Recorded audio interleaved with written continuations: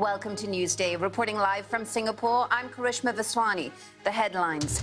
Under intense fire, Russian troops continue to attack the southern Ukrainian city of Kherson. Three people are killed. President Volodymyr Zelensky describes the shelling as atrocious.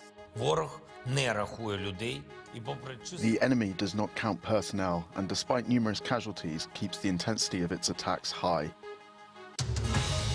The British Prime Minister Rishi Sunak has sacked the chairman of his Conservative Party, Nadhim Zahawi, after an independent advisor investigated his tax affairs. Israel's security cabinet agrees new measures in response to the deadly attack on a synagogue in East Jerusalem. And more than 50 people, including children, have died in two separate transport accidents in Pakistan. Live from our studio in Singapore. This is BBC News. It's Newsday.